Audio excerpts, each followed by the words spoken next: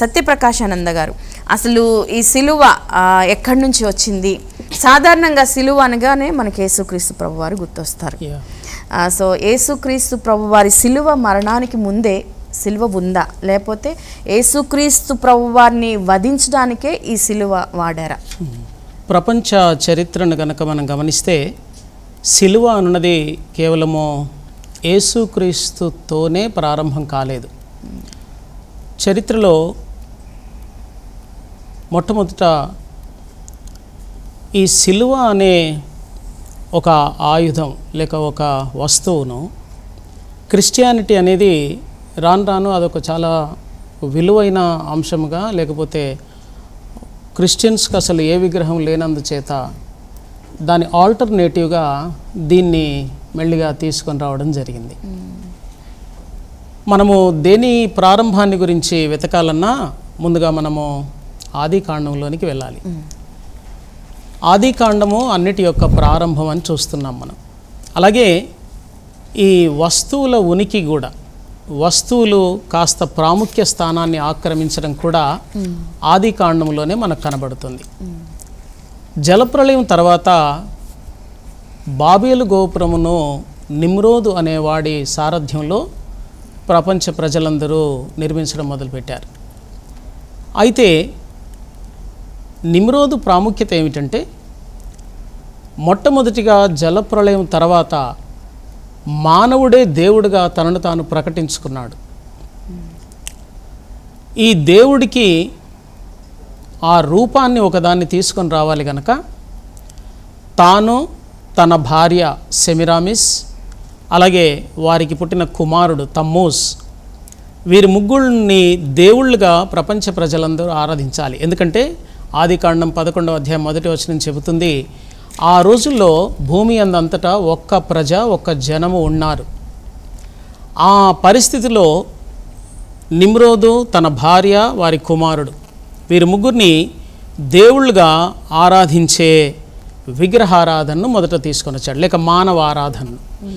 ఆ రోజుల్లో దేవుని పేరు ఎవరికి తెలియదు? ఎలోహీమ్ అనే పదంతో దేవుణ్ణి పిలుస్తూ ఉండేవారు. అనగా సర్వశక్తిమంతుడైన దేవుడు అనే పదంతో పిలిచేవారు. ఎహోవా అనే పేరు మోషేకు మాత్రమే మొట్టమొదట రివీల్ అయింది కదా. అంతకు మునుపు సర్వశక్తిమంతుడు. సో నిమ్రోద్ ఏమన్నాడంటే నేనే సర్వశక్తిమంతుడైన దేవుణ్ణి. మరెవరో లేరు.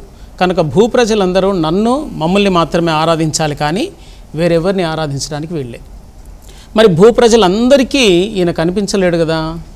కాబట్టి సూర్యుణ్ణి తన భాగముగా లేక తాను సూర్య భగవానుడి అవతారమని తన భార్య చంద్రదేవత అవతారమని వారి కుమారుడు స్టార్ గాడ్ నక్షత్ర దేవత అవతారమని మొట్టమొదట ప్రకటించాడు. అలాగున ఈ సృష్టించబడిన ఆబ్జెక్ట్స్ మీదికి మనుషుల దృష్టి మళ్ళింది. రోమాపత్రిక మొదటి అధ్యాయం పంతొమ్మిదవ వచనంలో పరిశుద్ధాత్మదేవుడు రాయించాడు సృష్టింపబడిన వాటిని సృష్టికర్తకు ప్రతిగా చేసుకొని ఆరాధించారు అని. సో అక్కడ నుండి ఈ విధానం ప్రారంభమైంది. ఆబ్జెక్ట్స్ను ఆరాధించడం దేవుడి స్థానంలో. సృష్టాన్ని. యా సృష్టిని ఆరాధించడం. ఇక ఈ మనుషుల రూపాలు దేవతల గెటప్స్ ఇచ్చి ఇలాగ ఆరాధించడం అనేది కూడా అప్పటి నుండే వచ్చేసింది. ఆ రోజుల నుండే ఎవడైతే ఈ ముగ్గురిని కాకుండా రహస్యంగా వేరే వారిని ఆరాధిస్తున్నా వీరిని ఆరాధించకపోయినా తెలిసిన నిమ్రోదు పరాక్రమము గల వేటగాడు. అంటే జంతువులను వేటాడేవాడు కాదు. మనుషులు ఎంత రహస్యంగా ఉన్నా వాళ్ళను వేటాడి పట్టుకోగలిగినవాడు. కాబట్టి ఎవరైతే ఆరాధించట్లేదో తనను వేరే వాళ్ళను ఆరాధిస్తున్నారో వాళ్ళని ఆయన వేటాడి పట్టుకొని చంపించేవాడు. ఈ చంపించడంలో ఒక క్రూరత్వాన్ని కూడా పాటించాలి. ఎందుకని? అంటే ప్రజలందరూ ఈ చావును చూసి భయపడాలి. కాబట్టి ఈ రోజుల్లో కూడా కొన్ని నియంతృత్వ దేశాల్లో ప్రజలందరి ముందు ఒక వ్యక్తిని శిక్ష వేయడం అనేది మనం చూస్తాం. ఇది మొదట ఆయన ఏం చేశాడంటే నన్ను ఎవడైనా ఆరాధించకపోయినా వేరే వారిని ఎవరినైనా ఆరాధించినా క్రూరమైన మరణం ఉంటుందని తెలియజేయడానికి మొట్టమొదట చెట్టుకు వాళ్ళను కట్టివేసి చంపడం అనేది ప్రారంభమైంది చెట్టుకు. సో దట్ చెట్టు హైట్ ఉంటుంది కాబట్టి అలా వెళ్ళే వాళ్ళు వచ్చే వాళ్ళందరూ కూడా చూస్తుంటారు. సో అది ఆ రోజుల్లో ఉన్న మరణాలలో క్రూరమైన మరణం. అందుకే మనకు మోషే కాలంలో వచ్చేసరికి ద్వితీయోపదేశకాండం ఇరవై ఒకటవ అధ్యాయం ఇరవై మూడవ వచనంలో మ్రాను మీద వ్రేలాడదీయబడిన వాడు శాపగ్రస్తుడు కదా అని ఉంది. చూడండి. వింటున్న వాళ్ళ కొరకు కాస్త చదవగలిగితే చదవండి. ద్వితీయోపదేశం కాండము ఇరవై ఒకటవ అధ్యాయము. ఇరవై ఒకటవ అధ్యాయం. యా. ఇరవై మూడవ వచనం. మరణశిక్షకు తగిన పాపము ఒకడు చేయగా అతని చంపి మ్రాను మీద వ్రేలాడదీసిన ఎడల అతని శవము రాత్రివేళ ఆ మ్రాను మీద నిలవకూడదు. వ్రేలాడదీయబడిన వాడు దేవునికి శాపగ్రస్తుడు గనుక నీ దేవుడైన యెహోవా స్వాస్యముగా నీకిచ్చుచున్న దేశమును నీవు అపవిత్రపరచకుండునట్లు అగత్యముగా ఆ దినమున వానిని పాతిపెట్టవలెను. సో మరణ శిక్షకు తగిన పాపం ఒకటి చేస్తే వాడిని మ్రాను మీద ట్రీ అని ఉంటుంది ఇంగ్లీష్లో చెట్టు మీద వ్రేలాడదీయాలి. అలాగే వ్రేలాడదీయబడినవాడు. చెట్టు మీద ఎవడైనా వ్రేలాడదీయబడితే వాడు దేవునికి శాపగ్రస్త శాపగ్రస్తుడు. సో అంతటి భయంకరమైన శిక్ష ఈ చెట్టుకు వ్రేలాడదీయడం అనేది ప్రారంభమైంది నిమ్రోధు కాలం నుండే. కాబట్టి ఇప్పుడు సిలువ అని మనం అంటుంది వాస్తవానికి ఒక మ్రాను ఒక చెట్టు యొక్క దిమ్మె.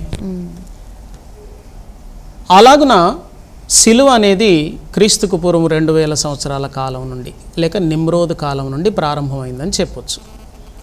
ఇక ఇది మొట్టమొదట బైబిల్ గ్రంథములో ధర్మశాస్త్రము వచ్చిన తర్వాత వేయబడిన శిక్షల కంటే ముందే నిమ్రోదు ద్వారా ఈ మ్రాను మీద వ్రేలాడదీయబడి చంపబడడం అనేది ప్రారంభమైంది. సో అలాగున సిలువ యొక్క ప్రారంభము ఎక్కడని మనం చెప్పుకోవచ్చు అంటే నిమ్రోదు ప్రారంభం నుండి అని చెప్పుకోవచ్చు.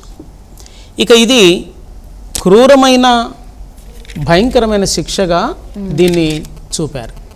అయితే క్రిస్టియానిటీలోనికి ఇదొక గౌరవనీయమైన వస్తువుగా మారిపోయింది. ఇది గౌరవనీయమైనదిగా ఆల్మోస్ట్ ఆల్ దేవుని తర్వాత అంతటి గౌరవాన్ని ఇచ్చే వస్తువుగా క్రిస్టియానిటీలోనికి వచ్చేసింది. ఇక్కడ మనము క్రైస్తవ సమాజం బాగా ఆలోచించాలి. బికాస్ మనం ఇప్పుడు సంస్కరణ దిశగా ప్రయాణం చేస్తున్నాం. ఈ రక్షణ టీవీ ఈ కార్యక్రమం ద్వారా. చర్చ్ను రిఫార్మ్ చేయడానికి మనం ప్రయత్నం చేస్తున్నాం. రిఫార్మేషన్ ఎప్పుడు అవసరమవుతుందంటే ఏదైనా లోపములో ఉన్నప్పుడు పరిపూర్ణతలోనికి తీసుకురావడానికి రిఫార్మేషన్ అవసరమవుతుంది. రిఫార్మేషన్ జరిగితేనే యేసుక్రీస్తుకు మధ్యాకాశంలో సంఘంతో పెళ్ళి అవుతుంది అంతవరకు కాదు. సో ఈ రిఫార్మేషన్లో భాగంగా ఈ బబులోనుకు సంబంధించిన లేక నిమ్రోదు సామ్రాజ్యానికి సంబంధించిన దీనిని ఇప్పుడు క్రిస్టియానిటీ దాన్ని ఒక హానరేబుల్ ఇన్స్ట్రుమెంట్గా చూడడం అనేది ఒక ఆలోచించాల్సిన విషయం. సరే నేను క్రైస్తవ సమాజానికి ఆ సిలువను బహు విలువైన వస్తువుగా గౌరవించే వాళ్ళకు ఒక స- సవాలు వేస్తున్నాను ఒక ప్రశ్న వేస్తున్నా ఈ వేదిక ద్వారా. నన్ను ఒకవేళ ఎవరైనా ఉరి తాడుతో ఉరి వేసి చంపారు కొబ్బరి తాడో ఏదో ఒకటి జనపనార తాడుతోనో వేసి చంపారు. నేను చనిపోయిన తర్వాత నా భార్య పిల్లలు అలాంటి జనపనార తాడును ఇంట్లో ఫ్రంట్ రూమ్లో పెట్టుకొని రోజు ప్రొద్దున లేసి గౌరవనీయమైన వస్తువుగా చూస్తారా? దాన్ని చూస్తే భయపడతారు నా భార్య పిల్లలు. అది కళలోకి వచ్చిన దూరం కనబడ్డా భయపడతారు. మరి దేవుణ్ణి క్రూరాతి క్రూరమైన శిలువ మీద చంపేస్తే ఆ చంపబడిన వ్యక్తి ఎందుకొరకు చంపబడ్డాడు ఏ కారణం కొరకు మరణించాడు దాని ద్వారా నాకేం ప్రయోజనం? ఈ విషయాలను ఆలోచించడం ప్రక్కన పెట్టి. సిలువకు అత్యంత విలువనివ్వడం అనేది ఇది ఒక రకమైన విగ్రహారాధనే అని నేను భావిస్తున్నాను అంచేత క్రైస్తవ సమాజం కాస్త దీర్ఘంగా ఆలోచించాలి. ఇది మొట్టమొదటిగా ఇన్వెంటెడ్ బై నిమ్రోద్ ఈ సిలువ క్రూరమైన మరణం అనేది. ఇది మన యేసు ప్రభువుకు సంభవించింది. ఈ మరణం. ఈ క్రూరమైన మరణానికి కారణమైన వస్తువును మనం గౌరవంగా చూ చూడడం అనేది ఎంతవరకు సమంజసము అన్నదాన్ని క్రైస్తవ సమాజం కాస్త తీవ్రంగా ఆలోచించాలి. ఇక ఆ మాటకు వస్తే ఆ సిలువ ఉదయాన్నే లేచి దాన్ని చూడాలి కాస్త మొక్కాలి తలకు పెట్టుకోవాలి లేకపోతే ఇలాగేదో అనాలి. కొన్ని చర్చెస్లోనైతే దాని ఆకారాన్ని చర్చికి అంతటికి చూపిస్తారు. ఇలాగని ఇలాగ అంటుంటారనమాట ఏంటంటే వాళ్ళు ఆ సిలువ పిక్చర్ను తరతరాలుగా క్రిస్టియన్స్ మైండ్స్లో ఇంజెక్ట్ చేసేశారు. కానీ సిలువ అన్న ఆ క్రూర మ- ఆ వస్తువుకు కాదు విలువ దాని మీద అంత క్రూరమైన మరణానికి గురైన నా ప్రభు ఏం తప్పు చేశాడు? దేనిని బట్టి ఆయన మరణించాల్సి వచ్చింది? ఆ మరణం వెనుక ఉన్న ప్రేమ ఎంత గొప్పది? దీన్ని క్రైస్తవ సమాజం ఆలోచించాలని నేను మనవి చేస్తున్నాను చాలా మంచి ఉపోద్ఘాతంతో ఈ కార్యక్రమం ప్రారంభించబడింది.